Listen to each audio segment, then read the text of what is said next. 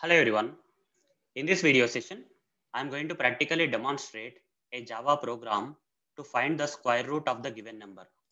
Let's say the user has given a number, say 4, and you need to find the square root of this number. So what exactly is square root guys? Square root is, square root of the given number is when you divide a number by itself and if you are getting this result as 4 then that number is the square root of this number guys. For example here number 4 is there.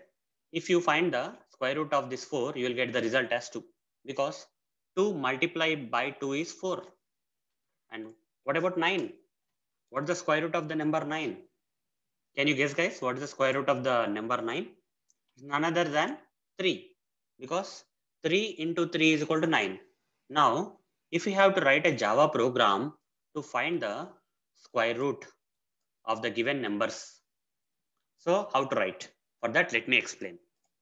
So here we have some sample code inside the main method.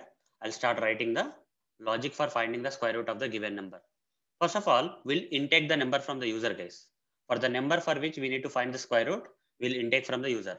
For intaking the number from the user, we need to create first create an object for the scanner class like this. Scanner scanner is equal to new scanner.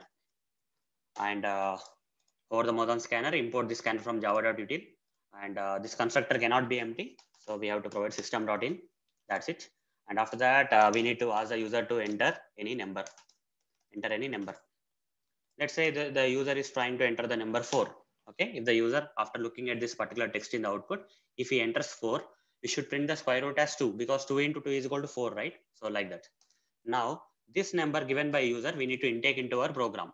So for that, we need to copy this scanner object and uh, which method we have to call under this scanner object. Because this number is an integer, we have to call this next int. Next int command. This next int command will intake the integer inputs from the user. And once the input is captured from the user, we can store them into a variable. Uh, let's say number. Okay, number create local variable. Now let's write the logic. Okay, now let's write the logic for finding the square root of the given number. So before writing the logic here, guys, there is one more thing that we have to do.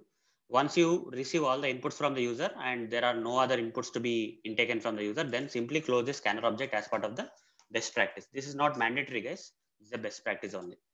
Uh, you, you can see that the warning message got resolved here for the scanner object once you close the object.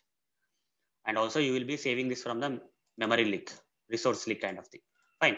Now, anyhow, so we have intaken the input from the user and uh, now we need to write the logic for finding the square root of the given number. How to find that system.out.println or we can say something like this. This is a number given guys. So if we have to find the square root of this number, we have to use a predefined class known as math class. In Java, there is a predefined class known as math. Math dot, there is a command known as square root command, sqrt. Okay, square math dot sqrt. Okay, and simply provide this number for which you want to find the square root for. The square root command of math class will find the square root of the given number and it will return the double value. That's fine. So let's say the number is square root, right? SQ square root of the number. SQRT of number. Square root of number. So create local variable, that's it. And uh, let's print it out. Okay, whatever the square root we found using the math dot uh, square root command, we can print it out here saying the square root of the given number is the square root of the given number is simply print it out. Plus that's it. Square root. Now run this program. This program will ask the user to enter a number. Let's say if you have entered a number let's say 4 the square root of this number 4 should be printed. You see the square root of the number got printed. Right? Yes that's it. And uh, let's give another number guys. Uh, let's give another number uh, apart from 4 let's give 9 what will be the square root guys square root of this 9 will be 3 3.0 fine done now again run it if you don't want this uh, decimal to be printed you can do one more thing guys uh, uh, you need to uh, put that in the circular brackets here. And uh, also we can do one more thing that is uh, here we can typecast. If you say int here, done. And here you need to say int, that's it. And directly print it. Okay, and you don't have to provide circular brackets here. You have typecasted this mat dot square root here. So now let's run this. Again, see with four, you should get two. You see, you got the integer value this time. And again, run this. And this time give nine, you'll get three. So uh, what if uh, we give something like uh, like uh, 16, you'll get four. So square root is four.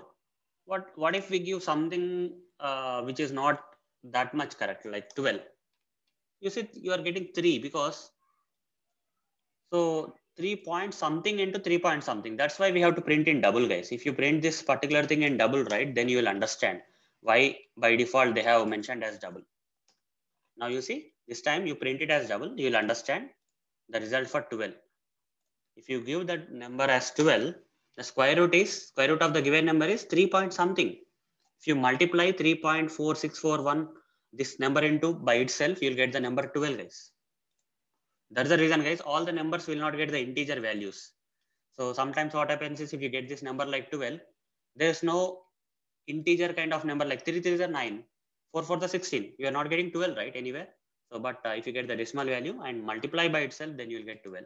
That's the reason we have to print out this kind of uh, square root of the given number in double itself, not in, don't convert that into integer guys. It may look good for uh, numbers like 4 and 9, but uh, coming to the numbers like 12, the square root of this 12 will be in decimal values only. So better to have this in a double one, double type, not integer type. So hope guys you understood how to write a Java program to find the square root of the given number. So that's it guys. Thank you. Bye.